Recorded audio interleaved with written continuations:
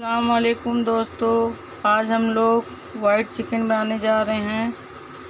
जिसके लिए मैंने एक किलो चिकन लिया है। साथ में इतनी प्याज है, इसको मैं काट लेती हूँ बारीक। प्याज मेरी देखिए कट गई है। अब मैं गैस में कढ़ाई रखती हूँ। मैं वाइट चिकन को सरसों के तेल में बनाऊँगी। तेल मेरे तेल मेरा अच्छे से गर्म हो गया है। अब मैं इसमें प्याज डालती हूँ।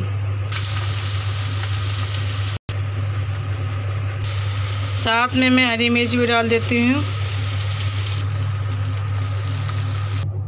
अब मैं दालचीनी की लकड़ी, जावित्री, जायफल तेज पत्ते काली मिर्च, लौंग, छोटी इलायची, अब मैं इसको सब डाल देती हूँ इसी में।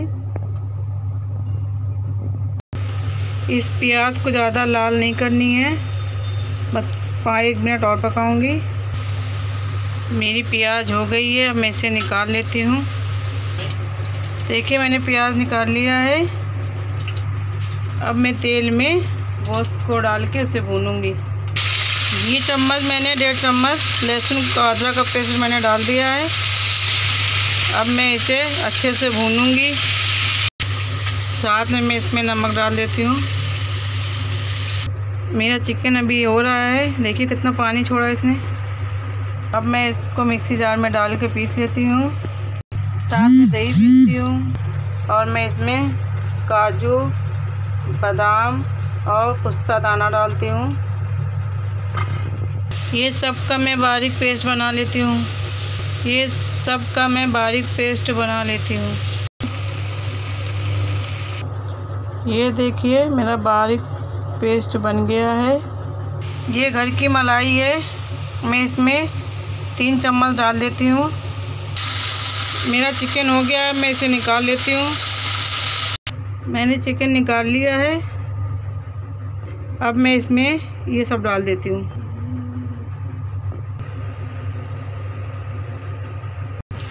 अब मैं इसमें बटर डालूँगी। बटर मैंने डाल दिया है। बटर डाल के मैं इसको दो से तीन मिनट पकाऊँगी। साथ में मैं अपने मटन को भी भूनूँगी।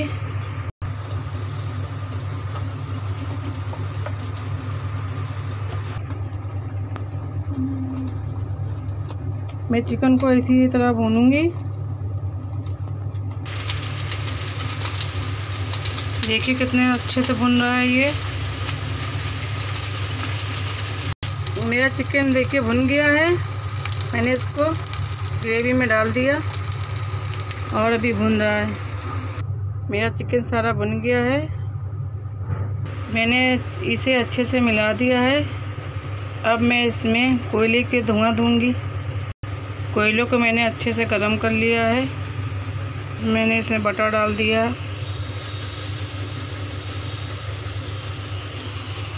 और इसे ढक के रख देते। दो से तीन मिनट। मेरा वाइट चिकन बनके तैयार हो गया है। ये देखिए। अगर आपको भी पसंद आया तो आप भी बनाइए और दुआओं में याद रखिए। अल्लाह हाफिज़।